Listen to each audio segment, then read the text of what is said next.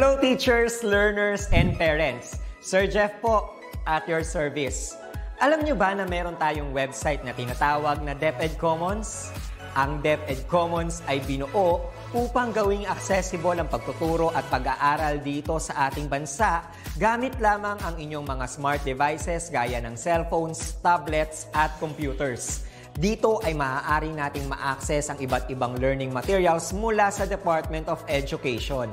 Meron itong mga interactive materials, electronic self-learning modules, at instructional video lessons mula sa DepEd TV na tiyak na makatutulong sa pag-aaral ng mga mag-aaral galing ka man sa public o private school. Walang problema dahil welcome ang lahat dito. Para ito sa mga guro, magulang at mga mag-aaral mula sa kinder hanggang grade 12, Alternative Learning System o ALS at pati na rin ang special education.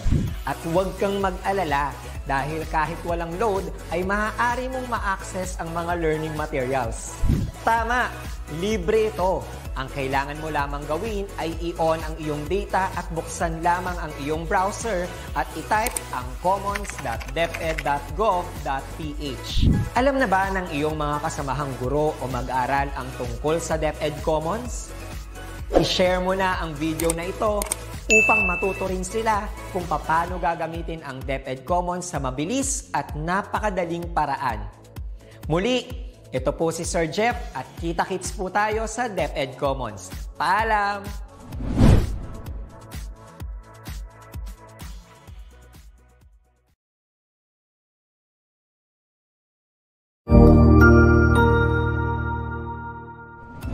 Magandang araw, Sir Wilbur po, at your service. Narito ang itulay upang gabayan ka sa inyong pag-aaral upang lubos na maunawaan ang iba't ibang paksa o subject. Ang itulay ay isang free online tutorial class na pinangungunahan ng ICTS Educational Technology Unit sa pamumuno ni Undersecretary Alain Del B. Pasqua. Ang programang ito ay hindi lamang para sa mga bata, kundi ito rin ay magsisilbing gabay sa mga magulang at mga guro kung paano nila ituturo o gagabayan sa bawat asignatura ang kanilang mga anak o mga estudyante. Sa kasalukuyan, ang self-learning module mula sa rehiyon ng Calabarzon at kilala sa tawag na Pivot ang ginagamit sa ating itulay online class. Kaya ano pang hinihintay ninyo? Ihanda na ang inyong mga ballpen o lapis, papel o kwaderno at samahan kaming itulay ang pagkatuto para sa bawat batang Pilipino. Sama-sama tayong magtutulungan para malampasan ang mga hamon sa panahong ito. Halina't matuto kasama ang inyong online tutor sa oras na ito.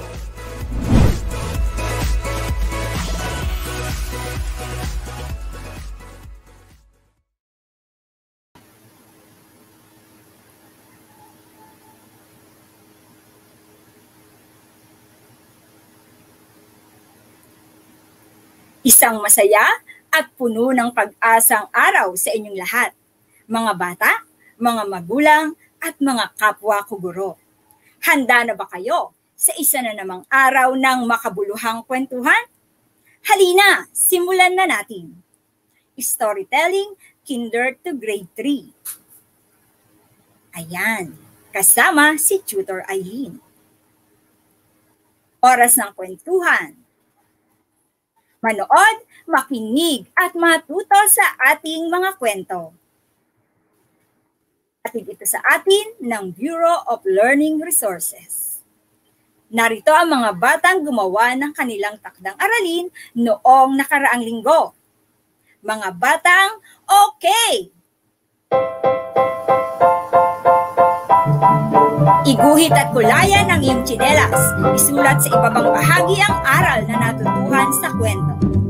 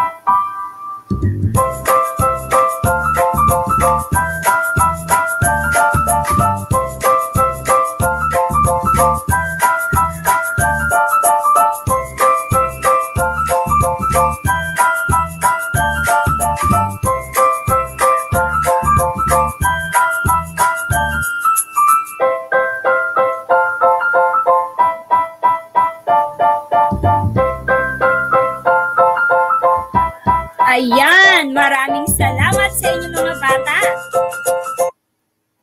Pagpatuloy na natin. Ano ang nakikita ninyo sa larawan? Yan, ilagay ang inyong sagot sa comment section. Ano ba yan? Okay, tingnan natin kung mayroong sumagot. Ayan, ano naman ito? Sabi ng isa, sapatos. Ito namang isa ay bag. Ang susunod naman ay bisikleta. At ang susunod ay isang notebook. Sabi nung ng isang sumagot dito, lumang sapatos. Di ba? Ano ang mapapansin nyo sa apat na larawan na yan? Ano ang kanilang pagkakatulad? Pare-pareho silang pare-parehong ano? Pare-parehong tingnan ko kung makasagot kayo. Luma, tama. Pare-parehong luma lumang sapatos, lumang bag, lumang bisikleta, lumang notebook. Tingnan nyo nga yung notebook, oh. Mga pahina lang na pinagsama-sama. Ganyan kami noong nag-aaral kami noong elementarya. Yung mga lumang notebook, tinatanggal namin yung mga wala pang sulat. Tapos pinagsasama-sama namin para magamit muli. Alam nyo ba mga bata, sa araw na ito, ay mayroon tayong kwentong tatalakayin na may kaugnayan sa mga bagay na luma. Kaya ipinakita ko sa inyo yan. Pero bago yon, mayroon ba kayong bagay na ginagamit ninyo kahit luma na ito? Sige nga, ilagay sa, ang inyong sagot sa comment section. Yan, tingnan natin. Sabi ni, Altea, luma or old? Ayan. Nagpapasalamat naman si Jersey. Jersey, belated happy birthday! Yan. Sabi ni Luma, sabi ni Carmen Cosa. Ayan, mga luma, sabi ni Heavenly Heart. Sabi rin ni Princess Jamela, o ano yung gamit ninyo na luma na? Yung ginagamit nyo pa rin kahit luma. Ayan, sabi ni Gallagher, color at lapis. O, di ba? Notebook at Crayola naman si Sophie. Ayan, talagang may mga gamit talaga kayong luma na ginagamit nyo, ano? Sabi naman ni Hans Ezekiel, chinelas. Oo, ang daming mga sumagot dito. Unan at toy, sabi ni Vincent Burgos. Ayan, ako rin marami akong bagay na ginagamit kahit luma na. Ngayon mga bata, ipagpatuloy na natin. Ang ating kwento ay tungkol sa lumang ukulele. Katulad nito. Ano ito mga bata? Ito ay isang ukulele na nasa loob ng isang bag. Tanggalin natin to. Tapos natin. Pero ito ay hindi luma. Ayan ukulele. Sino ang marunong tumugtog ng ukulele? Ayan. Pagpapatuloy natin ang ating kwento ha. Ang ating kwento ay isinulat ni Rhea Christine UL NAR. Handa na ba kayo? Game na! Ayan. Mayroon tayong isang eksena sa ating kwento. Sabi rito, hindi ko pa kayang bumili ng bago anak. Hayaan mo, aayusin ko ito. Dinikitan ito ni tatay at saka binalot ng masking tape. Ayan, ayos na. Maaari mo na itong gamitin. Pagmamalaki pa ni tatay. Mga bata, ang ating mahiwagang tanong ay ito. Magagamit kaya ni Tina sa pagtugtog ang lumang ukulele? Tingnan ko nga ang inyong mga hulang sagot. Ayan, sabi ni Cheryl Antonio, watching from SDO Nueva Ecija, maraming salamat. Sabi ni Melton, gamit niya ay lapis at color na luma. Ayan, tingnan ko nga. Magagamit kaya? Ang sabi ni Jersey, opo. Sabi rin ni Alessandra, opo. Ayan, marami nagsagot ng opo. Rose Ann, opo. Gina Lee, Opo. Micaela, opo. Sophie, opo. Joy Colina, opo. Tingnan natin kung talagang magagamit ni Tina ang lumang ukulele. Ayan. Ready na! Magandang araw sa inyong lahat. Ako si Teacher Eileen Doblada Santo Domingo mula sa Paaralang Elementarya ng Binangonan, Sangay ng Rizal. Ako ang inyong gurong gabay sa mga kwentong masasaya at makukulay. Tutuklasin natin ang mga bagong kaalaman at mga aral ay matututuhan. Halina, samahan niyo ako sa paglalakbay sa ating kwentong pinamagatang Ang Lumang Ukulele. Ito ay kwento at guhit ni Rhea Christine Ulnar.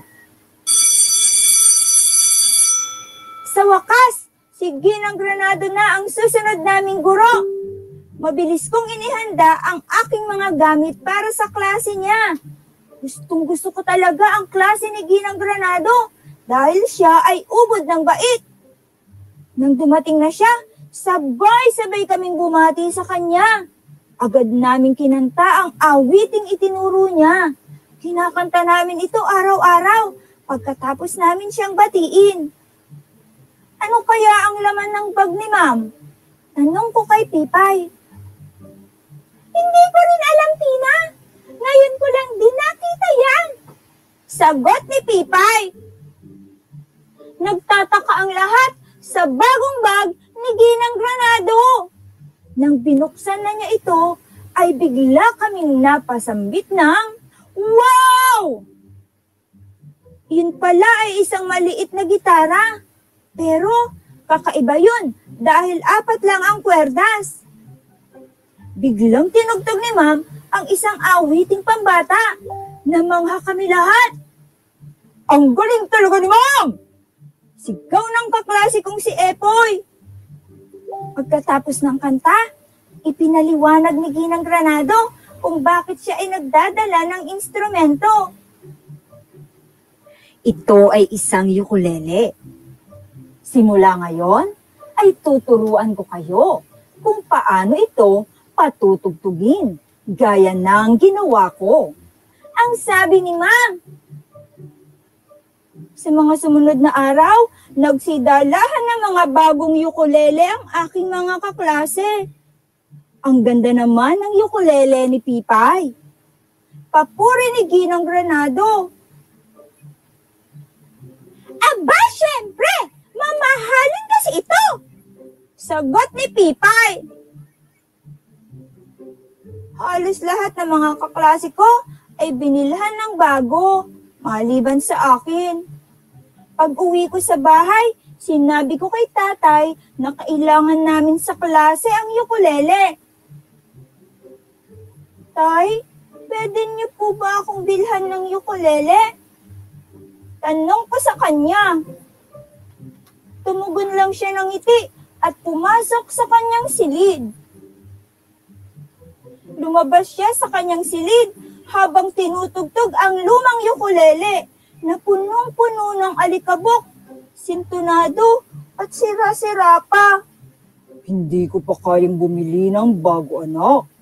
Hayaan mo, o ayusin ko ito.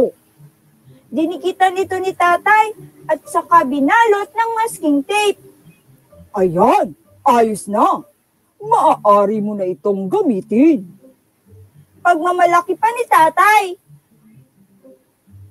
Baka mapapahiya po ako kung ito ang gagamitin ko. Paliwanag ko sa kanya. Tiyak na pagtatawanan lang ako ng aking mga kaklase. Dagdag ko pa. Alam mo ba anak? Ito ang ukulele ng kuya mo noong siya ay kasing edad mo. Lumaman ito, pero natuto pa rin siyang tumugtog nito. Kinabukasan, sinimulan na ni Ginang Granado ang pagtuturo sa amin. Nang inilabas ko ang aking ukulele, lahat ng mga kaklase ko ay tumingin sa akin. Tamang-tama, Tina. May ukulele ka na. Ang sabi ni ma'am, para akong natutunaw sa kahihiyan habang itinotono niya ito. Pagpasensyahan niyo po ito. Hindi kasi ako binilhan ng bagong ukulele ni tatay. Ang sabi ko kay Ginang Granado. Nagtawanan ang mga kaklase ko.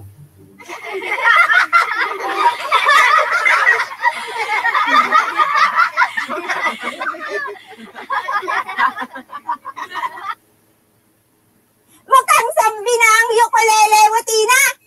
Nagagamit pa ba yan? Tukso nila sa akin. Pinagsabihan ni ma'am ang mga nanunukso sa akin.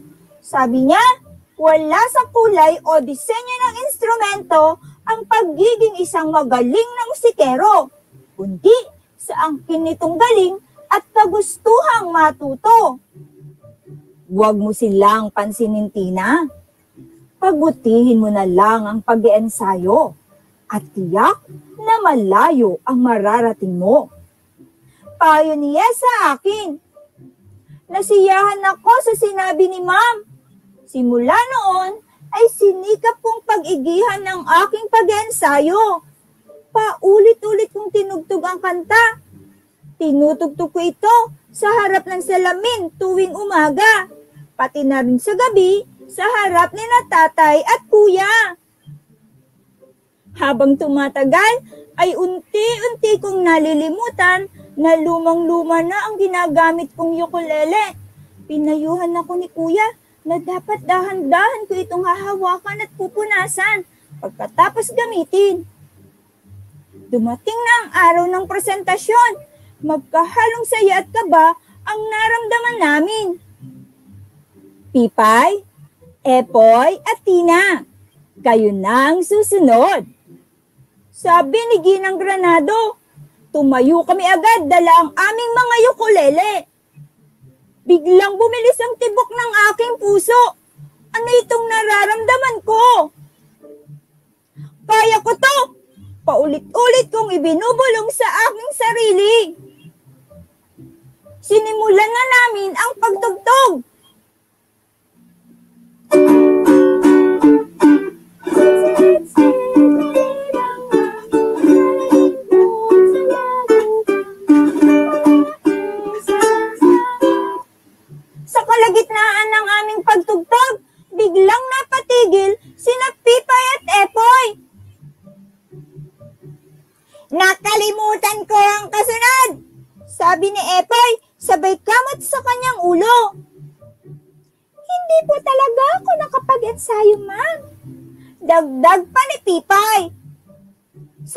Ng lahat, ipinagpatuloy ko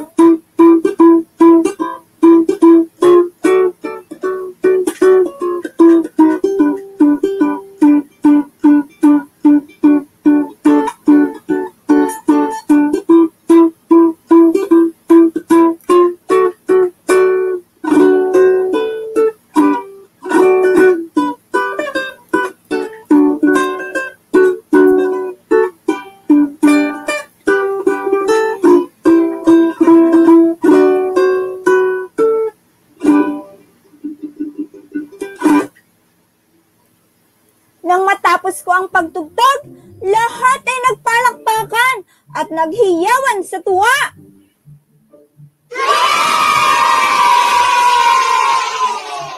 Mahusay ka, Tina. Sambit ni Ginang Granado. Pag uwi ko sa bahay, binalitaan ko sina tatay at kuya sa nangyari.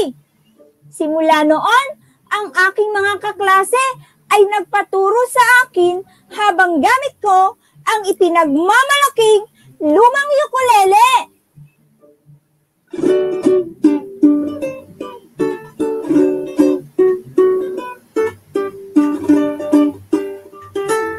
Ayan mga bata. Diyan nagtatapos ang ating kwento. Ayan ang picture ng ating author ng gumawa ng kwento, si Ma'am Rhea Christine Elnar. Napakaganda ng kwento niya, no?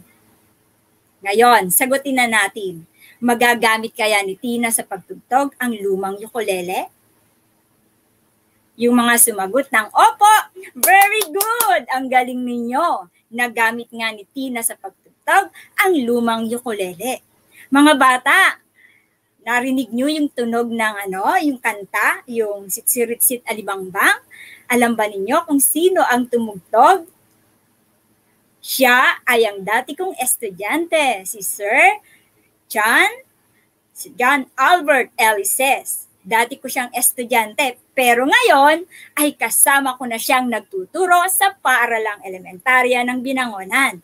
Mahusay siyang tumugtog ng ukulele. Palakpakan naman natin siya. Ayan, maraming salamat Sir John.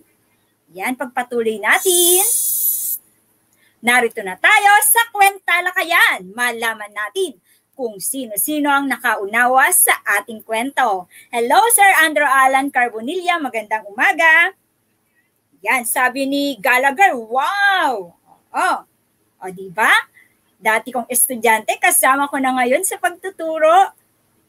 Unang tanong, bakit gustong gusto ni Tina ang klase ni Ginang Granado? A. Si Ginang Granado ay ubod ng bait. B nagdadala si Ginang Granado ng maraming pagkain? C. Hinahayaan sila ni Ginang Granado na maglaro kahit oras ng klase? Ano ang tamang sagot? Sige nga. Sabi ni Sophie at Jing Jewel, A. Sabi rin ni Nisha at ni Pia Joyce, Princess Chamela, Sophie, ayan. Tingnan natin. Siyempre, dahil si Ginang Granado ay ubod ng bait. Ganon din ba ang mga guro nyo? Oo naman, mababait ang inyong mga guro. Ngayon, nasa ikalawang tanong na tayo. Bakit may dalang ukulele si Ginang Granado? A. Gagawin niya itong dekorasyon sa silid-aralan. B. Tuturuan niya ang mga bata kung paano ito patugtugin? C. Gagamitin niya ito sa pagtugtog sa isang palatuntunan sa paaralan. Bakit nga ba may dalang ukulele? Tingnan ko nga ang sagot. Sabi ni Ashley, ni Erin, Alna, B. Ayan. Sabi rin ni Ryan Matthew, B. Aha. Bakit may dalang ukulele? Siyempre, tuturuan niya ang mga bata kung paano ito patugtugin. Ikatlong tanong, sino-sino ang nakakuha ng tamang sagot? Very good naman ano. Ikatlo, ano ang ginawa ng tatay upang magamit ni Tina ang lumang ukulele? A. Ipinaayos niya ito sa repair shop. B. Inutusan niya ang kuya ni Tina na ayusin ito. C inayos, inayos niya ito, dinikitan at binalot ng masking tape. Ano ang ginawa? Ayan, ang tamang sagot ay si Tama si Sophie. Ayan, si Eileen Marhes Tibayan, tama rin siya. At si Pia Joyce, pati na rin si Melton. Ang gagaling nyo talaga. Letrang C ang tamang sagot. Inayos ng kanyang tatay dinikitan at binalot ng masking tape. Ganyan di ba ang mga magulang natin? Ginagawa, gumagawa ng paraan para maayos ang ating mga gamit kahit mga luma na, di ba? Ganoon din ba ang inyong mga nanay at tatay? Oo. Magpapasalamat kayo ha. Ikaapat na tanong. Paano nag-ensayo si Tina sa pagtugtog ng ukulele? Paano ba siya nag-practice? Anong ginawa niya? wala tayong pagpipilian dyan. Kung nakinig kayo talaga, masasagot ninyo ang tanong na iyan. Sige nga, tingnan ko. Paano nag-practice? Sabi nila, oh, opo, opo. Sila ay tinutulungan ng kanilang mga magulang. Salamat po, nanay at tatay, pati na rin mga lolo-lola. Ayan. Paano? Paano nag-ensayo si Tina? Anong ginawa niya? Yan, hintayin natin ang sagot ninyo. Yan.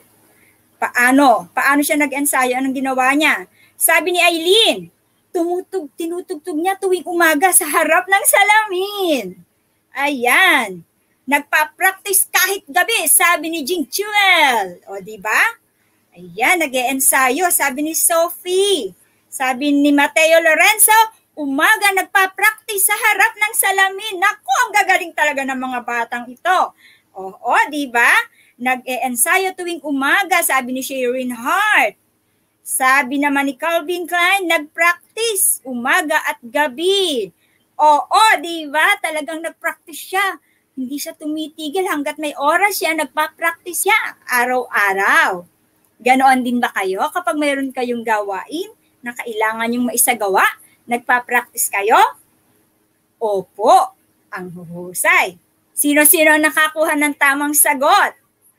Oo, ang dami, oh, ang daming nagsagot ng tama. Si Hans Ezekiel, si Rainiel, oo. Tapos si Liam din nag ensayo daw sa salamin. Brianna, opo, nagpa-practice daw siya. Narito na tayo sa ikalimang tanong.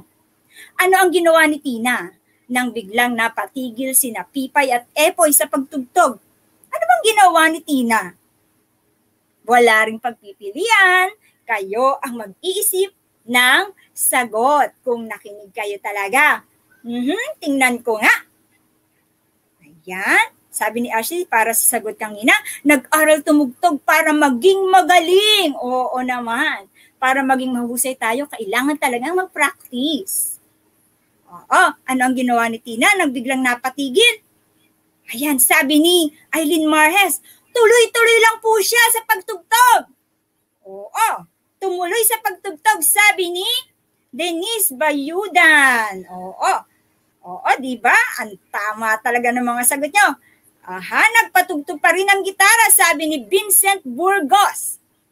Erin Miranda, tuloy pa rin siya. Sabi rin ni Gallagher, nagpatuloy. Oo, ang gagaling talaga ng mga batang ito. Sabi ni Jing Jewel, pinagpatuloy niya ang pagtugtog. Yes, very good. Ang gagaling talaga. Ngayon, mga bata, ano ang natutuhan ninyo sa kwento? Napakaraming aral, di ba? Isang kwento lang yan, pero marami kayong aral na natutuhan. Ilagay nga ninyo ang pinakamahalagang aral na natutuhan ninyo sa kwento. Babasahin ko muli ang inyong mga sagot. Ang dami pang nagsasagot. Sabi ni Carmen Cosa, patuloy niyang pag-practice ipinagpatuloy, sabi ni Liam Del Rosario. Ayan, ang dami. Okay? Kahit po lumang bagay, pwede pa rin pong ayusin, sabi ni Sophie. Yes, tama. Luma na yung ukulele, pero nagamit pa rin. Inayos lamang, di ba? Kailangan bang magpabili? Siyempre hindi na, no? Magagamit pa naman, ano? Lalo na kung wala namang pambili. Ano ang dapat gawin kung walang pambili ang inyong mga magulang? Katulad ng ginawa ng bata sa kwento, yes, tama.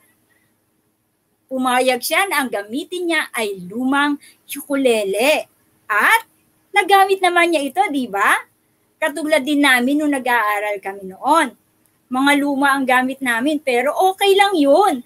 Ang mahalaga, patuloy kami sa pag-aaral at alam naming mahal kami ng magulang, di ba? Gumagawa sila ng paraan. Lahat ng paraan ginagawa upang maipagpatuloy natin ang ating pag-aaral upang maging maayos tayo, di ba? Tingnan ko nga. Eto pa, oh, marami pang nagsasagot. Huwag ikahiya ang mga lumang gamit, lalo na kung magagamit pa, sabi ni Altea. Oo, di ba? Kahit lumang bagay, pwede pang gamitin, ayusin, sabi ni Mikaela. Oo, tama kayo. Sabi rin ni Denise Lorraine, kahit lumang bagay, pwede pang gamitin. O, diba? O, sabi naman ni Reniel, huwag asarin ang ibang tao. Yes! Diba? Dahil ba luma ang kanyang gamit, pagtatawanan na at aasarin? Siyempre hindi. Kaya mga bata, pag may mga kaklase kayo na na halimbawa luma ang gamit o kaya walang gamit. Pagtatawanan ba ninyo? Hindi, di ba? Yes, tama. Dapat ay tulungan pa ninyo siya. Dahil kung wala siyang gamit, wala siyang magagamit. Pahiramin ninyo ng gamit. Di ba? Yun ang isang pagiging mabuting bata. Okay, ano pa kaya? Meron pa kayang nagsagot? Ang dami pa, oh. Makontento kung anong meron, sabi ni Hans Ezekiel. Oo. Oh, Sino sa inyo ang hindi nanunukso ng kaklase? Sige nga, lagay nga ang thumbs up. Hindi kayo nanunukso o nang aasar ng kaklase, lagay lang ang thumbs up. Okay, marami pang nagsasagot dito. Mm-hmm. Sabi ni Gallagher, ang pagtugtog ay hindi base sa luma o bago ang instrumento, kundi sa pagtugtog natin, yung talent mismo, di ba? Kahit anong bago pa yung gamit mo, kung hindi ka naman talaga nag-practice, hindi mo maisasagawa yung gawain ng maayos, di ba?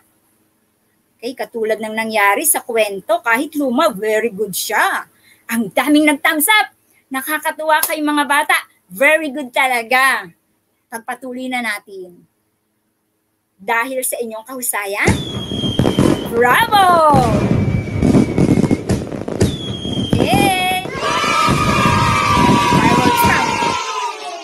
Susunod. Para sa takdang aralin. Ayan, may luma tayong notebook o pahina dyan. Sabi dyan, kuna ng larawan ang bagay na ginagamit mo pa kahit luma na. Isulat at ilagay sa ibaba, sa ibabang bahagi ang aral na natutuhan sa kwento. Diba? Pipicturan. Tapos sa ibabang bahagi, ilagay niyo yung aral na natutuhan sa kwento. Magpatulong sa nanaya at huwag kalimutang magpasalamat. Yan. Ipopost nyo yan sa page natin, sa group. Itulay, oras ng kwentuhan kasama si Teacher Eileen. Ilagay ang pamagat ng kwento, ang lumang ukulele. Pangalan, paaralan, baitang at pangkat, at hashtag hero ko si ma'am. Mga bata, paalaala muli, ang inyong mga assignment ay sa FB group natin ipopost para lahat ay makita ni tutor, ha? Para makita ko lahat ng mga assignment nyo at lahat ay maipakita natin. Diyan natin ilalagay sa Itulay, Oras ng Kwentuhan na Facebook group. Diba? Lahat dyan ay tatanggapin. Ano? Lahat ng post tungkol sa ating itulay ay pwedeng ilagay dyan. Okay, ngayon naman, ayan ang mga bata. Tapos na ang ating itulay batang ating mga nakasama. Ang iba hindi pa nalagay dyan, no? Sa mga susunod lalagay natin.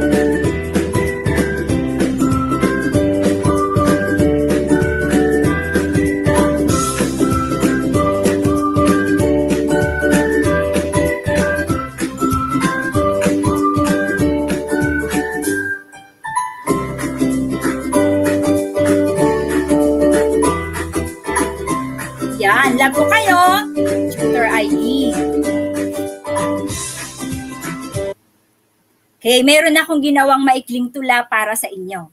Makinig mabuti ha. Handa na ba? Ayan. Isang taus-pusong pasasalamat ang aming alay sa mga magulang na patuloy na gumagabay. Sa mga gurong walang sawang sumusubaybay at sa mga batang tunay na mahuhusay. Nagawa po nating sama-samang itulay ang pagkatuto ng ating mga inakay. Sa inyo pong lahat, isang pagpupugay. Hangad namin ang inyong tagumpay. Mabuhay ang itulay! Maraming salamat pong muli sa pagsama sa amin sa Itulay. At uh, sigurado marami kayong natututuhan dito, 'di ba? Sa iba't ibang subjects. Kaya patuloy pa rin kayong manonood araw-araw. Hintayin ninyo, mayroon tayong summer camp. Makikita niyo pa rin kami, magkakasama-sama pa rin tayo doon. Itulay Summer Camp. Sino ang manonood sa ating summer camp? Yan, very good. At eto muli ang paalaala mahalin ang pagbabasa dahil nasa pagbasa ang pag-asa. Maraming salamat!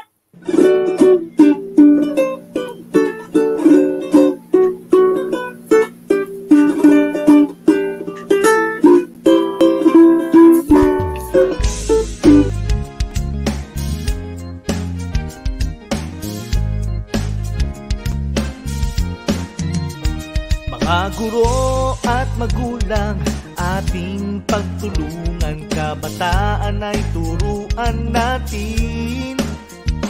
Kahit na nasa tahanan Pag-aaral ay tutukan Oras at kasanayan ay ilaan. Sulong edukalidad Magbago man ang panahon Ipagpatuloy ating layunin Patatagin ang edukasyon Itulay ang gabay sa pagkatuto. Itulay edukasyon itatawid sa iyo Itulay paaralan di lalayo sa iyo Itulay sa makabagong panahon. Itulay para sa kabataang Pilipino Kayo ba'y may katanungan at hindi maunawaan? Kami ang gabay at tulay na magtuturo sa'yo. Sa tulong ng teknolohiya at maging ng social media Paaralan ay kusang lalapit sa'yo. Tulong edukalidad Supuin maling impormasyon Katotohanan nating ituro. Paunlarin ang edukasyon. Itulay ang gabay sa pagkatuto. Itulay edukasyon itatawid sa iyo Itulay paaralan di lalayo sa iyo Itulay sa makabagong panahon. Itulay para sa kabataang Pilipino. Itulay ang gabay sa pagkatuto. Itulay edukasyon itatawid sa iyo Itulay paaralan di lalayo sa iyo Itulay sa makabagong panahon.